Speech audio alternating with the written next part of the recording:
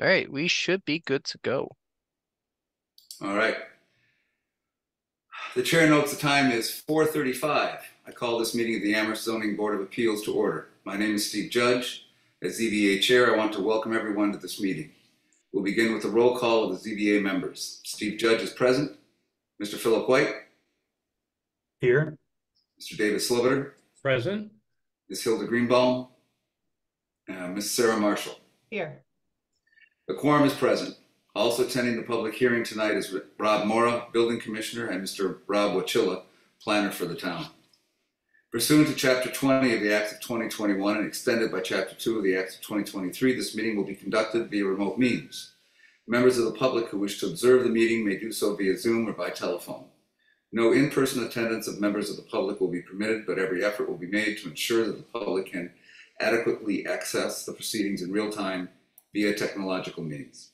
The Zoning Board of Appeals is a quasi-judicial body that operates under the authority of Chapter 48 of the general laws of the Commonwealth for the purpose of promoting the health, safety, convenience, and general welfare of the inhabitants of the town of Amherst.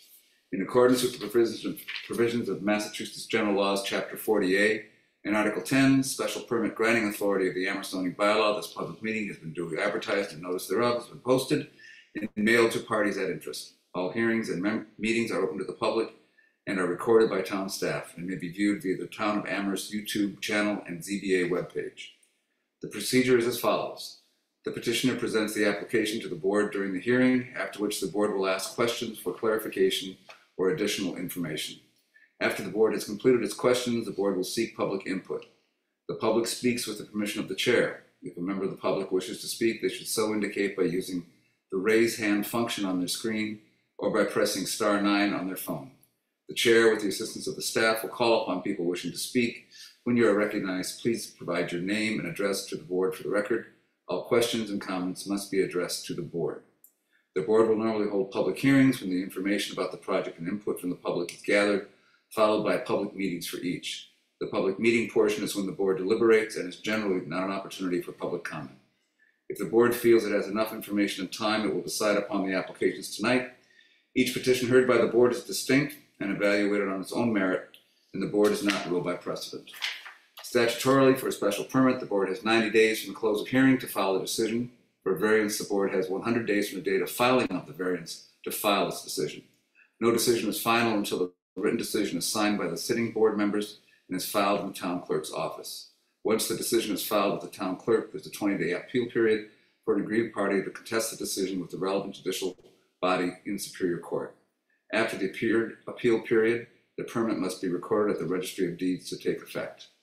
Tonight's agenda is a public hearing, ZBA FY 2024-16, Craig and Rachel Gibson, request for modification to an existing special permit, ZBA FY 2015-00027, under section 10.33 and 3.241.6 of the zoning bylaw to change the occupancy status of a converted dwelling from owner occupied to non-owner occupied with the resident manager with requested waivers from traffic impact study, lighting and landscape plans at 50 McClellan Street, map 11C, parcel 189, RG, General Residence Zoning District.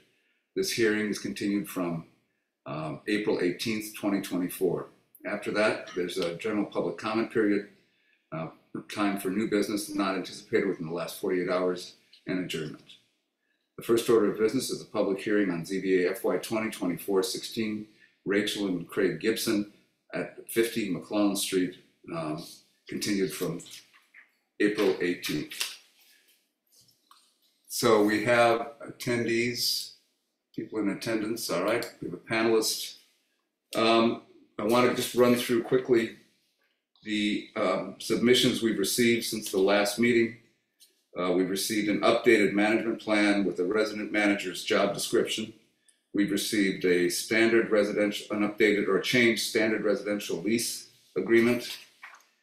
Um, those are the two things that have been, two documents that have been updated um, since the last meeting. So um, I guess there were a couple of questions at the last meeting that we focused on. One was a job description and the job qualifications of the resident manager. Another was the the lease itself, and the third was a lease to individuals as opposed to a group in a, um, a multi-person uh, lease at home. So those are the three issues we dealt with, uh, or dealing with last week, and hope to have um, resolution of in today. And so I guess this would be the place for the Gibsons to uh, present what they have, um, their response to our questions, and then the board to ask questions from that. So if uh, Mr. Gibson, or who's going to speak? Do You need to bring Craig in. All right, Mr. Gibson in. Yep, He's- I just promoted him to panelist and he should be, yep, there's his camera and his microphone. Yep, there we go. Hello, Mr. Gibson. Give us your name and address for the record. Hi, this is Craig Gibson at 50 McClellan Street. Are you able to hear me? Yep, loud and clear. So last week we, um, or last time we met, there were three items we talked about. I just, I think you just heard me go through them. Do you want to address those and any other issues that uh, you want to, the board to consider tonight? Um, we took your considerations and uh, worked really hard to try to get uh, a better understanding of the uh, resident manager and thought we had uh, came up with a good plan. And we're going to put a resident manager in our efficiency apartment that'll run the uh, and and that's a that's a must. We'll we'll definitely comply with that, and we I think that we came up with a good plan for that. And did you, uh, it looks to me to be a, a lease that's more fulsome than the lease that you originally? is this a- Yep. it's Yeah, we have a lease that is uh dedicated to the resident manager also. Yeah. Okay. All right. Um, and then lastly, there was an issue uh, that Ms. Greenbaum raised regarding um, rental to individuals rather than rental to a group. You still plan on renting to individuals in the main house for separate individuals? You haven't, have you changed that plan at all? Uh, I don't remember that being an issue, but I I we plan to do to individuals. That Okay, was our plan. all right. I thought it was So- just the two things. Yeah. Yeah, no, I, uh, there are two things, two things you had to provide, and I think you did, uh, you responded to that. Um, I think it the, looks to me like the residential manager description and the selection criteria um, is an improvement over what was in contained uh, two weeks ago. Um, so I think you've done a good job with that. I know that Mr. Slover had real, you, you raised this issue strongly. and I'd like to hear your opinion and the rest of the board.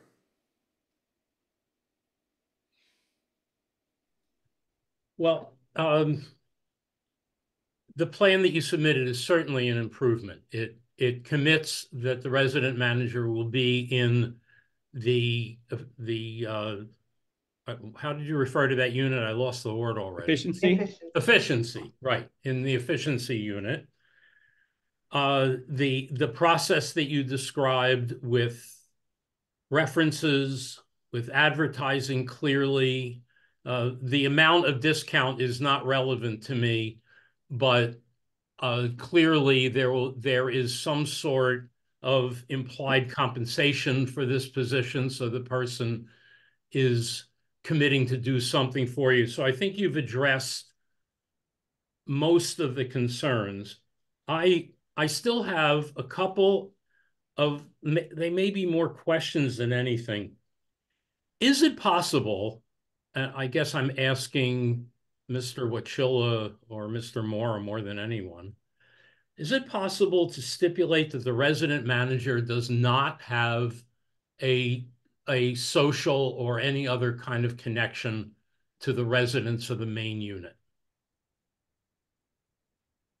I mean, I wouldn't want the fifth pal to be the manager. Then there would be less, there might be more reluctance to insist on certain behavior. I don't know if that's possible, but it occurred to me. Um, Mr. Morra? That sounds really difficult to uh, be on top of uh, and even aware of. I, I think if um, you know, there could be an obvious situation if all five tenants were you know part of an athletic team or some club. It might be obvious, uh, but uh, I think writing that into the lease is going to be very difficult to uh, see anybody either enforce or apply or maybe even be interested in.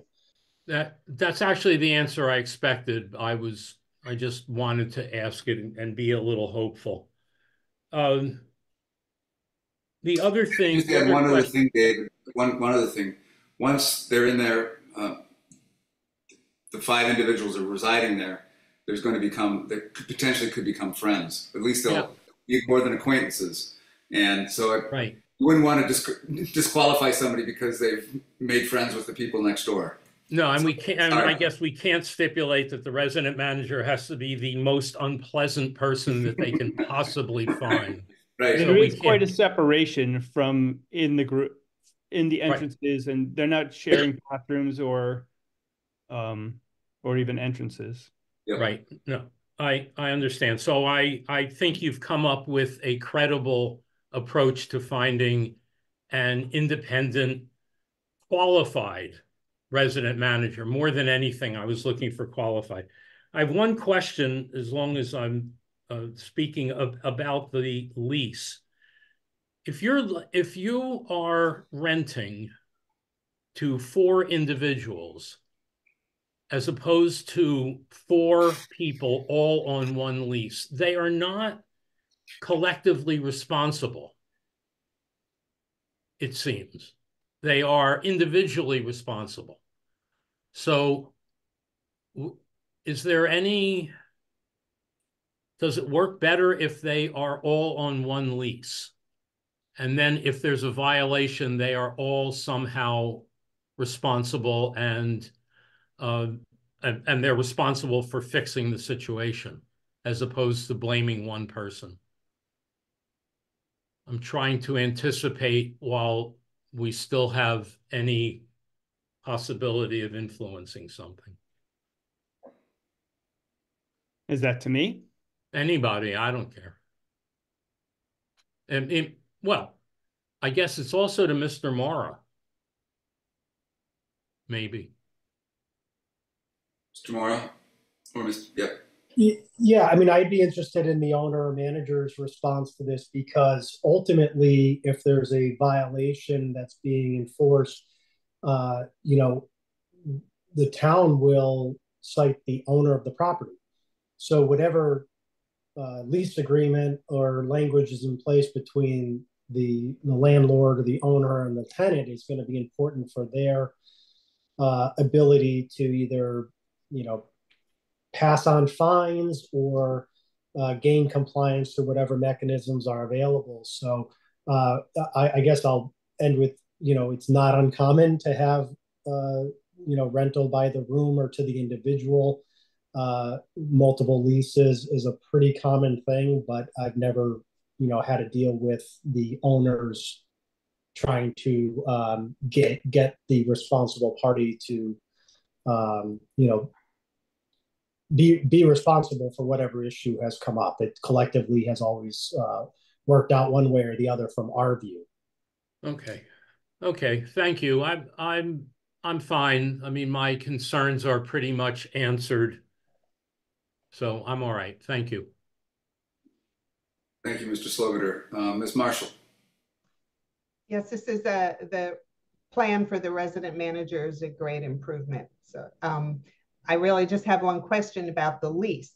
This is the lease for both the tenants in the four-bedroom part of the structure and for the resident manager?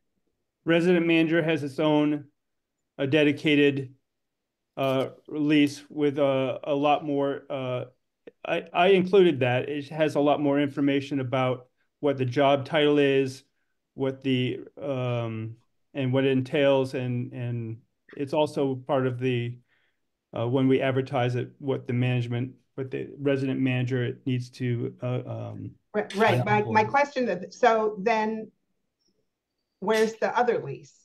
Or, We just got one lease, I think, in our packets. And I looked online, we just had the one.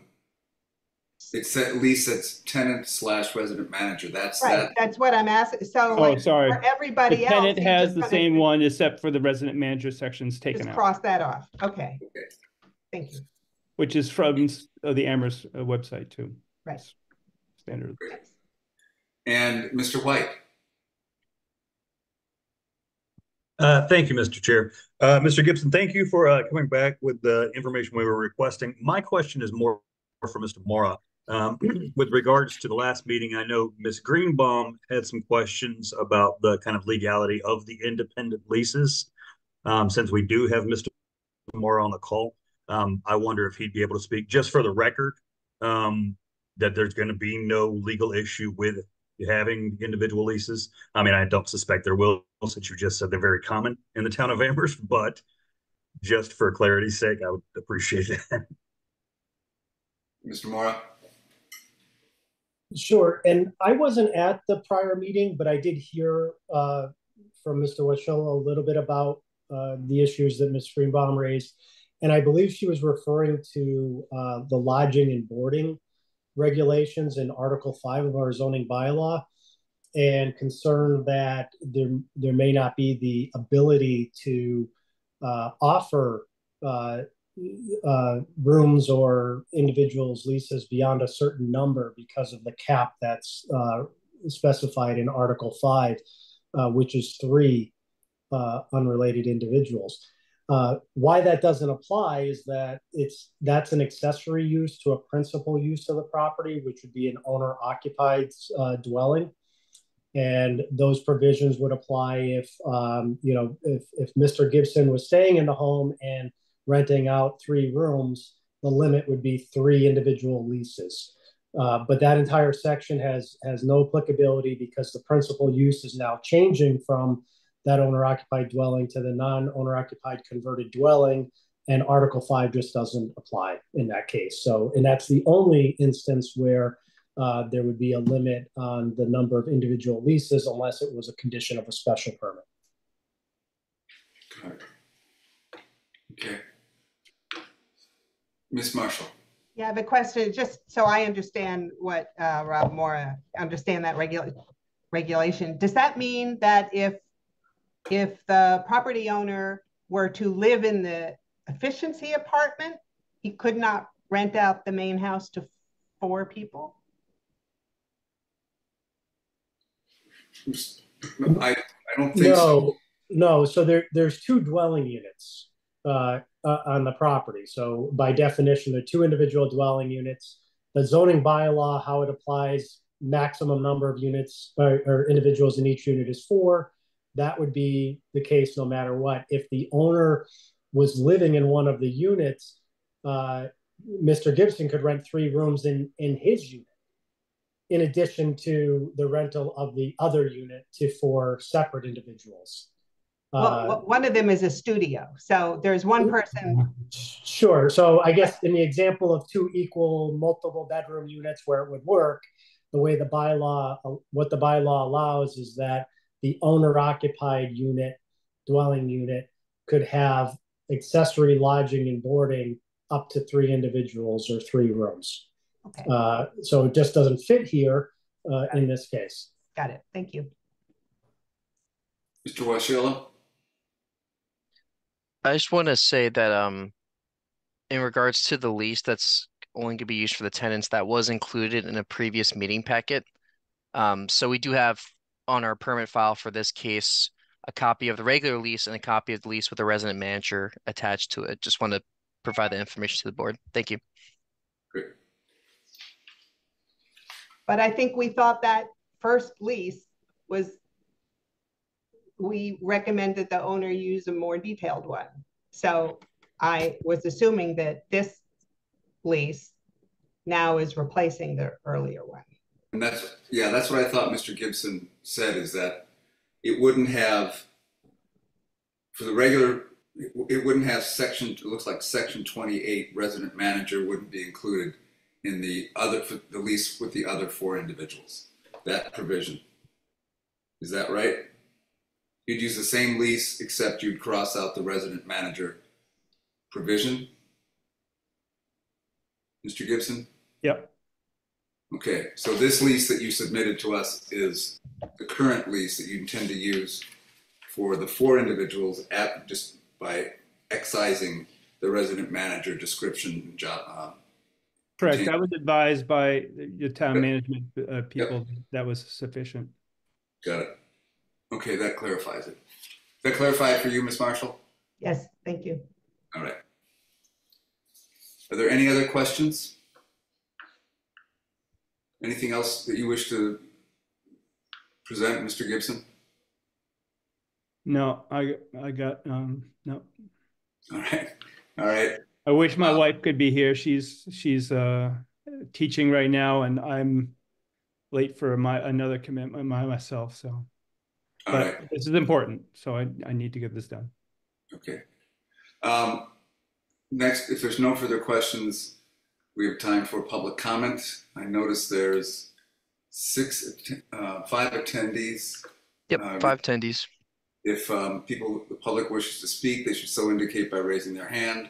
And then um, when called upon, please give your name and address for the record and keep your comments to about three minutes. I'll start a clock just to help you stay to that.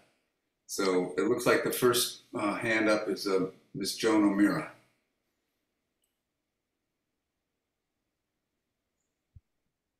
I don't know if you can hear me. Yep, we can hear you. Great. Hi, everyone. So, um, Oh, just give us your, uh, oh, your sorry. Joan O'Meara, 37 Cosby Avenue, Amherst, Mass. Is that sufficient? Yep, that's good. Hi. Um, so I'm a little puzzled, truthfully, philosophically, why the town even bothers to do owner occupied zoning board meetings when we continue to change owner occupied status, meaning what is the point of owner occupation when someone decides to move on from their property and convert it to non-owner occupied? How, I don't know philosophically how the town has uh, a rationale for changing it to a non-owner occupied residency philosophically. I know the property owner has a right to do what they want, but the impact on the rest of the community is significant. As you well know, and that's why they're moving. Because they didn't want to be near students. No, that's not the reason. Well, Mr. you have you every can reason. to respond afterwards. You're right. Okay. It's your right, so I don't want to argue that point. But I, we just went through this process a few weeks ago that we are required to be owner occupied residents because we have an accessory dwelling unit. And we're happy to do that. We're happy to be owner occupied. But where, where is the logic to continue to change this? Capitalism. I don't know if anyone wants to answer that question. You know, the, the or the respond, or the participant can respond after all the public comments if they choose. Yep, Uh, that's all I have to say. Thank you. Thank you all. thanks, Ms. O'Meara, thanks, Joan. Um, are there any other people who wish to comment? Not seeing any hands up, Mr. Chair. Oh, well, John Rosenthal just raised his hand. Mr. Rosenthal, just give us your name and address for the record. Unmute here. Can you hear me? Yep, sure can. Yeah. My name is John Rosenthal. I live at 51 McClellan Street, directly across from 50 McClellan Street. Uh, When I heard uh, that um, this uh, issue was coming up, I went over and I spoke to Craig, and he told me essentially uh, why he was moving and uh, what his long-term intentions were for this particular property, which I gather is to keep it in the family. Is that correct, Craig? And uh, so uh, uh, he has been uh, a, a, a very good neighbor, and I am sure that he is going to require that this is a one uh, well-run household. And uh, I can only say that because I have uh, known Craig for several years now, and that's what I expect him to do, to uh, to keep this as a uh, a, a neighborhood uh, uh, a plus. Okay, that's all I want to say, and I'm I'm in support of this particular application, and and hope that you will vote it through. Thank you. Thank you, Mr. Rosenthal. Other public comments? Not seeing any hands up, Mr. Chair. No. All right, uh, Mr. Gibson, you can respond to public comment if you wish. John, I still plan to uh, um, get the snow off your driveway. I'm gonna miss you. And I'll be around. I'll be at the brunches.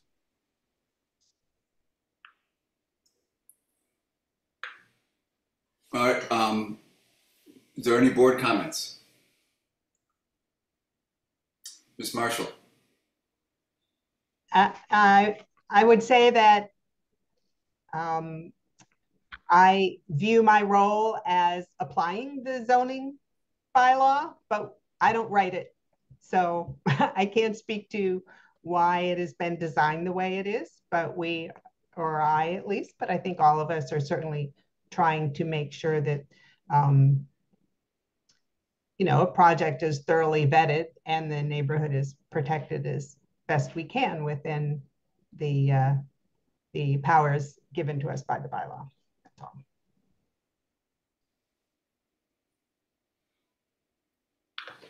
Mr. Sloviter? Uh, this is just a, a comment expressing how I view this in general. Uh, I think that Mr. Gibson has complied with everything that was requested of him and that he is making a good faith effort to make this property not an objectionable one. I have a basic ongoing concern about changing owner occupied to non owner occupied. I sympathize with Ms. O'Meara and her comments. I feel this way because of the proven data that non-owner occupied properties become are more likely to be problems. And also because I live across the street from a non-owner occupied property where the tenants, in spite of the fact that they have a lovely backyard, believe that barbecues, beer pong, and late night loud discussions are best done in the front and on the front porch. So I have an inherent skepticism and uncomfortable feeling. This property is on the line between one half of the block that has a lot of student rentals and the other half of the block that has very few.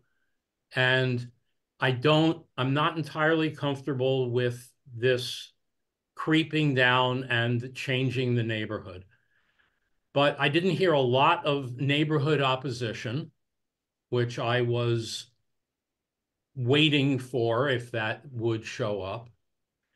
And I also believe that what Ms. Marshall said about we are here to interpret the rules. We don't make the rules. We we comply unless there is a really compelling reason not to.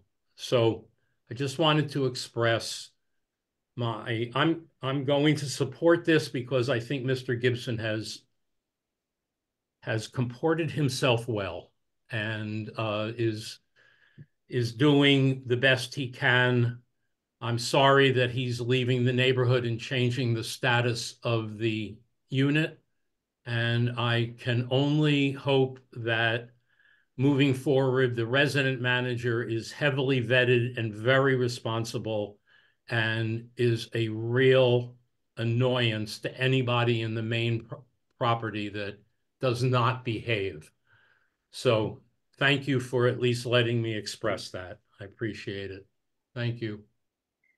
Yeah, I would just have one comment, um, and I think Ms. O'Meara Joan really raises a problem that we all face, which is uh, we have to, the fundamental decision is, is this going to be detriment to the neighborhood?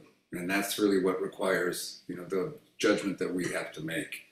It's clearly allowed by the zoning bylaw, and we have the we have the discretion to think to say that this is going to be um, the plan before us, the special permit before us will will will be will work to the detriment of the neighborhood, will become an annoyance, all the kinds of things we have to find under 10.38. And I think in this case, for a multitude of reasons, one of which Mr. Sloviter has just mentioned, being that this is the first, this will just add on to the entire student rental property on the, up to his property that's already there. So I don't, and then the rest of the neighborhood, rest of the block is pretty much owner occupied. I don't think it's going to be a dramatic change in the quality or the character of the neighborhood, and I don't see that that in and of itself will work to the detriment of the neighborhood, especially since I think we have a good resident manager provision that we don't always see. And I think Ms. Marshall is also right. Uh, we are given we are given the zoning bylaw to interpret. We are given discretion. We have to make certain findings under 10.38 and if we can't make those findings, we don't approve the, we don't approve the, the special permit application for a non-owner occupied property. And that's happened at times uh, by the zoning board. And so this was one where I think we just looked at, I'm, I'm looking at it and saying, I think that this is one where the, I think the neighborhood will not be, um, will not be impacted adversely by this change. Um, and, and I think it's permitted, and I know it's permitted under the zoning bylaw. So this seems to me to be one where our judgment is that this makes sense and that the owner um, has given, provided evidence of um, very um, willingness to manage this property so that it doesn't uh, affect the neighborhood and his uh, long-term residence in that neighborhood, even as a uh, that it being his childhood residence, um, seems to indicate even more so that. So it's not something I'm comfortable with all the time, and I think there's a real problem in town with student rentals creeping. I don't see that this is that, and uh, so I, it's a judgment call in this case, and I'm willing to make the judgment call on behalf of the applicants as I see it in this case. All right, If there's any other comments, this would be the time to have them. Mr. Gibson, if there's anything you wish to say, if not, I'd like to, if not, I'd like to move, um, I would entertain a motion that we move out of the public hearing into a public meeting while keeping the public meeting open to consider um, our um, deliberation on this application. Do I have a motion? So move. Is there a second? Second. It's been moved and seconded. Any discussion on the motion? If not, the chair votes aye. Ms. Marshall? Aye. Ms. Sloviter? Mr. Sloviter? Aye. Mr. White? It's, Aye. it's Amherst. It's Amherst, yeah. You can assign anything you want. It doesn't matter. All right. The motion is four to nothing. Uh, it passes. We're now in a public meeting. Um, typically, that's not where we get public comment. It's where we, the board deliberates and where we can consider um, our findings and the conditions. Um, I have no, I think I've stated my intention my general feelings. I don't know if anybody else feels the need to speak before we go into conditions and into findings. If not, um, let's take a look at the conditions contained in the um, proposed, the draft uh, project analysis project report, uh, conditions one through 12. The first one is pretty much boilerplate. You gotta, you gotta build it or um, use it as contained in the, in the submissions. The second, um, uh, yeah, in case of, of, a sale, the new owner has to come to the zoning board of appeals uh, to, to go over the management plan. Uh, number three deals with the resident manager. Um, and the, the, addition here is the state of the management plan. The resident manager shall reside in the studio apartment and we'll have a lease agreement that is separate from tenants who are not resident managers. Four, there's no more than four unrelated adults. Number five is no more than one adult shall live in the studio apartment. Six, all exterior lighting shall be designed and installed to be downcast and um, abide by ZBA rules. Seven, street numbers for the dwelling shall be clearly marked. Eight, parking shall occur on the improved surfaces only. Um, and the parking area shall be constructed in accordance with requirements of Article seven. There should be no more than four cars parked on the property on a regular basis. The trash receptacles shall be screened. The property shall register with the rental registration program. And upon the renewal, again, this is a, these last two are pretty much boilerplate.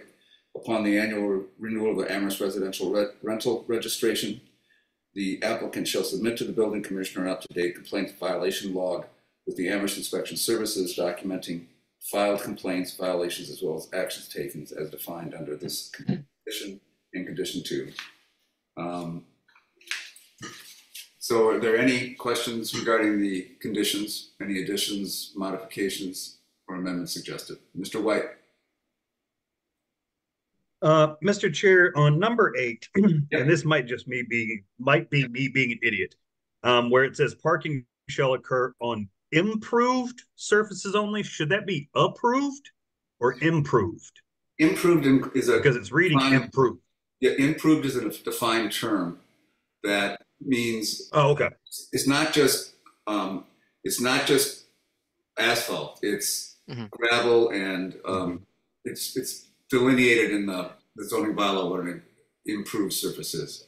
Mr. Okay. Moore can speak to that more precisely, I'm sure. Thank you. Yeah, I think it's mainly that you're not on grass. So it's Yeah. been improved to some sort of a standard to be used for what its intended purpose is, is parking vehicles. Grass or mud to elaborate further too. Yeah. Because Yeah. grass turns into mud when you park on it after a while. Yep. Ms. Marshall. Yeah, I don't know if it need be said here or in the lease, or maybe it's part of the rental registration program, but I would think that the resident manager, that contact information for the resident manager needs to be posted or given or something to the, for potentially four people in the other unit. Right? Because they, they need to contact that person if there's plumbing issue, yeah? Or they just contacting the owner? So, I mean, condition three kind of is responsible for anything dealing with the resident manager. I mean, do you want to just add that to that condition, Sarah? Do you think that would make the most sense? Yes, Okay, so I guess the um tenants of the other unit must have contact info for the resident manager at all Right. times. Okay. right. They, sh- they, yeah, they shall receive information on the con- contact information on the resident. Yeah. I can include that. All right. Any other comments, amendments, concerns on the conditions? If not, I would um, entertain a motion that we approve the conditions en block as amended by Ms. Marshall's amendment. So moved. Um, Been moved and seconded. Any discussion? The vote occurs on the motion to uh, approve the conditions as amended. Chair votes aye. Mr. Sloviter, Aye. Mr. White, Aye. and Ms. Marshall. Aye. Vote is four to nothing with one absent. The uh, conditions are approved. Now we have to make findings under two sections.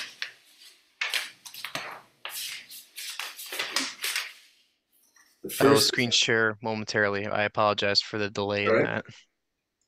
The first is under Article 3, dealing with converted dwellings. And we have to find that this is a converted dwelling that complies with Section 3.3241.6, which states that a proposed conversion shall be suitably located in the neighborhood and an area close to heavily traveled streets, close to businesses, commercial educational districts, blah, blah, blah, and shall require either owner occupancy or resident manager. And, you know, I think we can find that the McClellan Street is heavily trafficked and is adjacent to the Amherst downtown, and that the resident manager will be, uh, there will be a resident manager of the property. So I think Arctic, that's the first finding. Second findings, and I'll read these all in block and then we can discuss them if we, if we need to. Uh, point three eight and three eight zero and three eight one The proposal is suitably located in the neighborhood which is proposed and is compatible with existing uses. I think we could find that that's the residential district. 10.382, 383, 385, and 387 aren't really applicable. They deal with uh, constituting a nuisance, where the, the use would constitute a nuisance, would be substantially inconvenient or hazardous to abutters, would be um, adjoining premises against detrimental and offensive uses, would provide would not provide convenient, safe, or vehicular traffic. Um, none of the there's no changes in the um, the structure or the use of this um, property that would implicate that, and I think therefore those are not applicable to this this um, application. 10.384 deals with adequate and appropriate facilities provided for proper operation. It's, they're on site, um, it's got town sewer and everything else, so appropriate facilities are there. 10.386 proposal ensures that it's conformance with parking and sign regulations. Uh, it does conform with seven with Article 7 and 8 of the zoning bylaw. 10.387 was contained up in the uh, earlier non-applicable um, finding. Uh, 10.388 also is not applicable. That deals with adequate space for off-street loading and unloading of vehicles. 10.39, um, 10.389, adequate methods of disposal or storage for sewage, refuge. Uh, they will have trash services uh, available and for and trash storage will be shielded and picked up weekly. 10.390 deals with uh, flood hazards. That's not applicable. 10.391 deals with um, protecting existing feasible, unique, or um, to extent feasible, unique or important natural, historic, or scenic features. Um, I mean, there's no modifications to the existing building, so it doesn't um, implicate that at all. 10.392 provides adequate landscaping, screening of adjacent residential uses, and provision of street trees, etc. Uh, there's no changes from current use, so the finding is um, clear there that we can find that it doesn't provide, it does provide adequate landscaping. 10.393, the proposed provides protection of adjacent property from light intrusion. Uh, there's no changing in the lighting plan and all, and all lights uh, comply with exist with the uh, ZBA rules and regulations. 10.394 deals with steep slopes. We don't have steep slopes, so that's not applicable. 10.395 deals with disharmony with respect to the terrain, use, scale, and architecture of the existing buildings in the vicinity. There's no exterior changes, so that's not applicable. 10.396 deals with screening of storage areas, loading docks, dumpsters, rooftop equipment. To the extent this is applicable, it deals with trash receptacles, which are located uh, are shielded from the public right away. 10.397 um, again deals with recreational facilities. There's no change from the existing use and existing special permit. And 10.398, the proposal is in harmony with the general purpose and intent of this bylaw and the goals of the master plan. This, I, this is in harmony with the, the goal to provide more housing in Amherst. Um, so given those items, are there anybody, is there anybody that has a question about any of those findings? All right. Um, I would entertain a motion that we make the findings required under section 3.32416 and under 10.38 um, through 10 points, appropriately through 10.398. Do I have such a motion? So moved. Ms. Marshall moves. Is there a second? Mr. Sloviter seconds. Second. Is there any discussion on the motion to make the findings? Can have it. If not, the vote occurs on the motion to approve the findings. Um, the chair votes aye. Ms. Marshall? Aye. Mr. White? Aye. Mr. Sloviter? Aye. The vote is four to nothing to, with one absent. The motion carries. The last order of business is the motion to uh, approve the special permit application, uh, ZBA, excuse me, I want to get this right. ZBA 2015, no, that's the old one.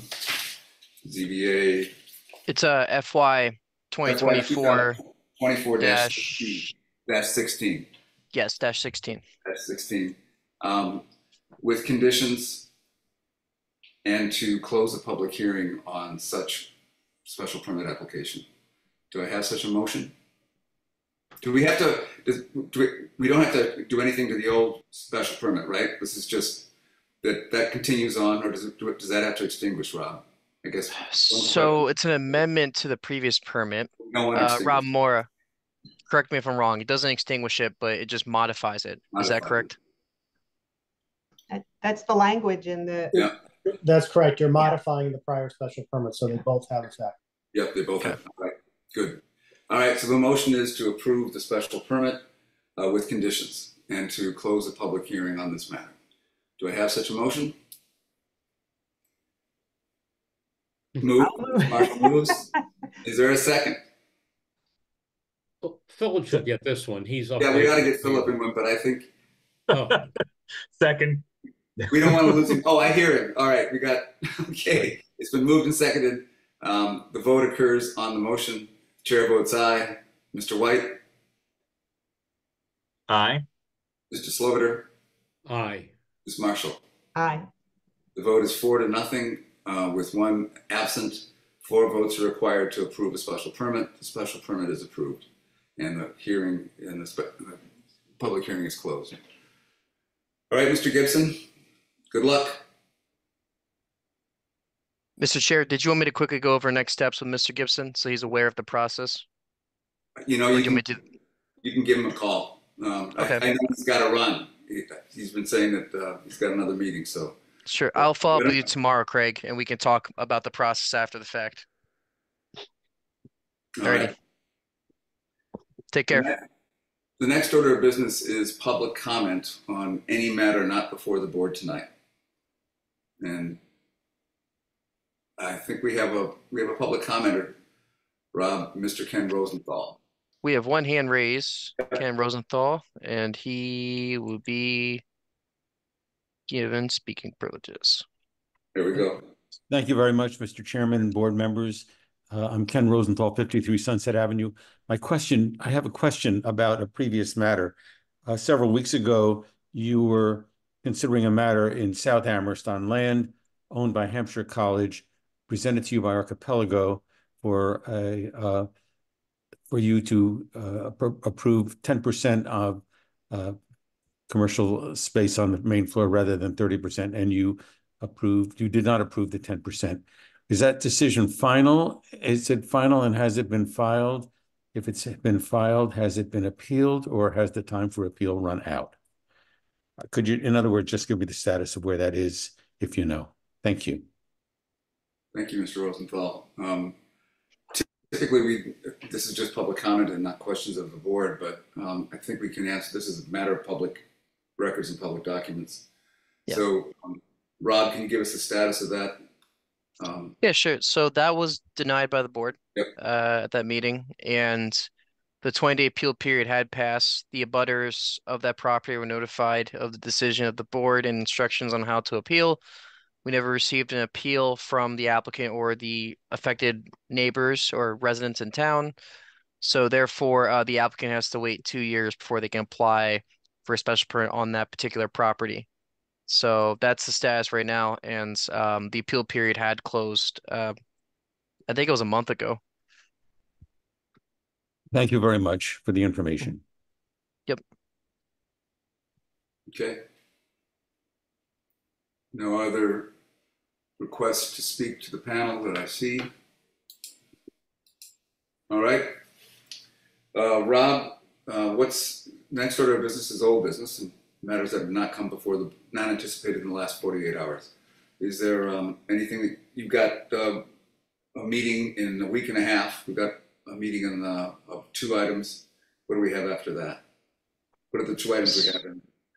In next Yeah, week? sure. Next week, it is, yeah? So next Thursday, we have two hearings. The first is for a flag lot, 47 Redgate Lane, build a single family home and to approve the flag lot. Um, and then we have 180 North Whitney Street, which is to turn a single family structure into a two family non-owner occupied duplex. Um, David's gonna love that one. Uh, and um, on May 23rd, which is the meeting after the 9th, uh, we have two hearings that are filed, but one that could be filed after the fact.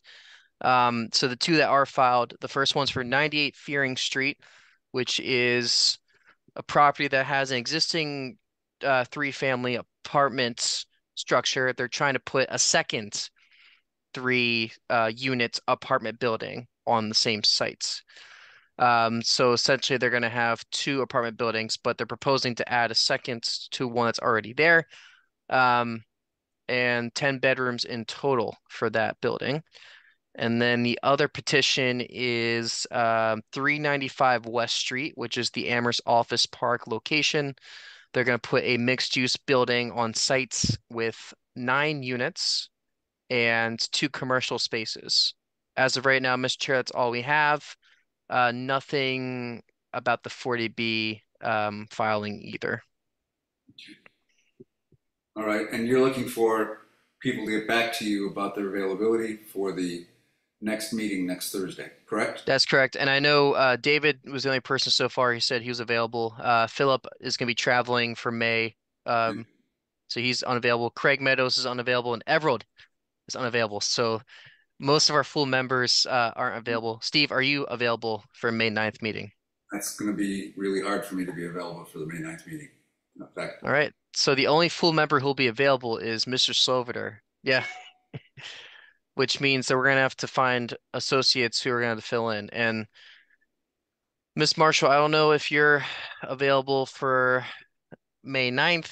Um, I foresee those hearings not taking more than one meeting. Um, if you're not available, that's totally fine, but I figured I'd ask since I have you here. Um, I, I'll need to check something out. That's and I'll- fine. I'll Um. So I have to, so that means we're gonna have to rely on three associates, two of them who are new members to the ZBA to to to be the panelist for that one. Then David will have to most likely chair um if Steve is unavailable. So there's a lot to discuss, and that'll also be my last zoning board meeting as the staff liaison. So a fun way to to send off uh myself. then all those nice things that Mr. Sloviter has been saying about you, you can take back. Right. I'm def- officially. I'll be filing, I'll be filing a complaint with the ZBA, that's for sure. Is, um, as long as we're on this, with only one full member and the really experienced, really dignified chair not available, do we have to have the meeting? Not necessarily. I mean, we could ask the applicants if they'd be willing to continue to like the first June meeting, um, just so Steve can be available. Um, we don't have anything scheduled yet for that meeting. Uh, I believe it's June June thirteenth. It's the Isn't first that, June No, meeting. it's June, June sixth is uh, the first meeting in June and the solar is scheduled for that day. I have. yeah, Well, that's that's um that's an off meeting. Um, sorry, off scheduled meeting date. But Steve, did, you said you weren't available on June thirteenth, right? June 13th. Let me just look at my schedule here real quickly. Yeah, sure. Um, And we could also What um about- I'm sorry, what about May twenty-third? May that's- twenty That's the, May twenty-third is scheduled. So we have two hearings already um Oh. anticipated to be scheduled for that date. So unless the board wants to hear four petitions in the same night, that's that That's seems a like a lot. lot. Yeah. Um June 6th, I have um, nothing. I'm, I'm scheduled. I'm, we've got the solar update, which should be quick on June Yeah. 6th. so And June sixth could be a potential date to continue it to, Mr. Chair. I think that would be the most appropriate. Um and of course I'll talk with Chris Brestrup because she'll probably be taking over for me and I'll discuss that uh situation with her. But Steve, um we could do a panel where it's just the associates, Mr. Sloviter, and then yourself as the chair. I mean, But I'll be he- back then too.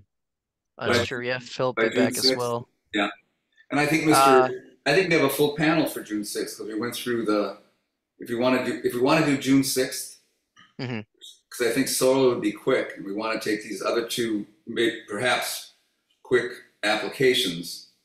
Yeah. June 6th may be the time to do that because we would. Ha- I know that we have a full panel I think everybody said they were available on June sixth for the solar, of the solar. So, so the only thing is, uh, three of you would have to be available for the May twenty-third. Oh, sorry, the May 9th meeting in order to continue those hearings to June sixth.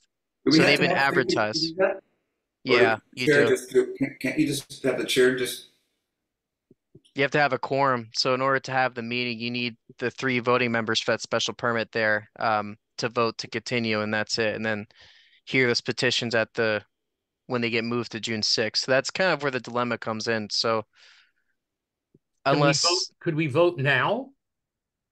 No, you have to wait No. until May Oh, We have to wait, okay. It's not Yeah. on the agenda.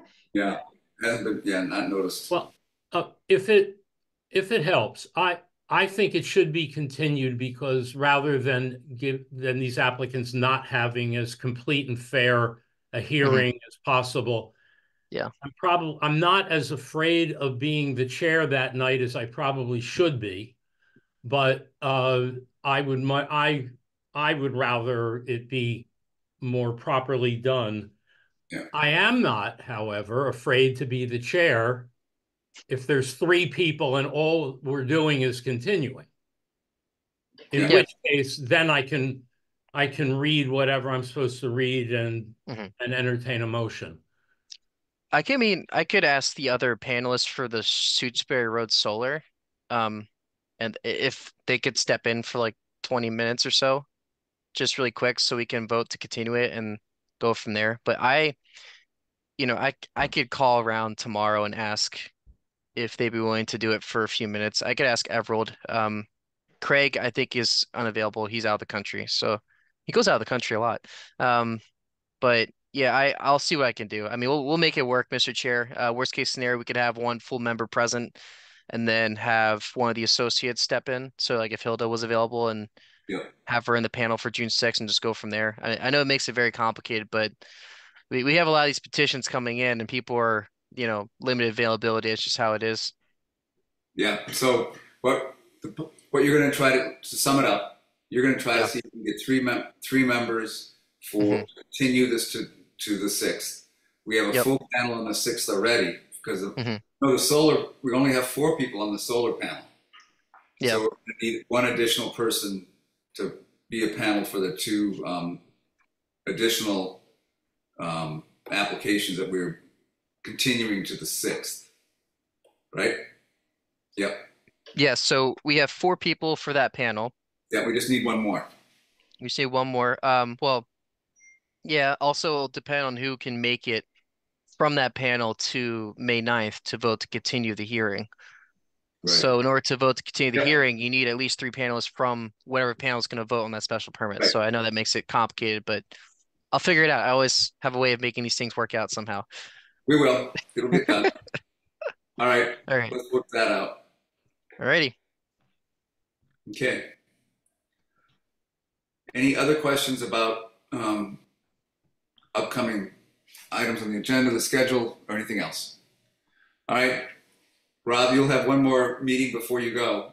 Thank you for. Barely. I'm not, and I won't be on it, I don't think. So um, I want to thank you for all your efforts publicly for uh, helping us. You've got a lot of work that we've done, and you're a big part of why we're successful. So thank you so much, and congratulations on a great. Looks like a great move for you. And um, East Longmeadows is it East Longmeadow? Mhm. East Yep. Long Meadows gain is our loss. Um, we hate to see you go, but good luck. Thank you. I appreciate it. I've had a good time working with this board. David, I think I miss you most of all, even though you took your kind words back. You, you, you remind me so much of the Mid-Atlantic area where I grew up. I, I'm from Delaware, so not too far from Philly. Right, and and I will be at the meeting on uh on the sixth, and if I'm the only full member, I'll chair it and I will be appropriately contemptuous and disdainful of you at your last meeting.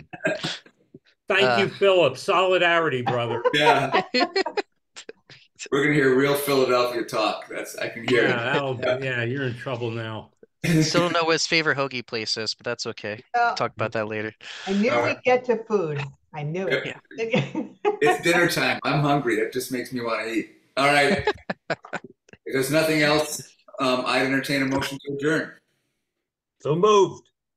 Second? So, second All right, it's been moved and seconded to and adjourn. thirded. Motion is not debatable. The chair votes aye. Mr. White, Aye. Mr. Sloviter, Aye. Ms. Marshall. Aye. Votes four to nothing. Um, motion carries. We are adjourned.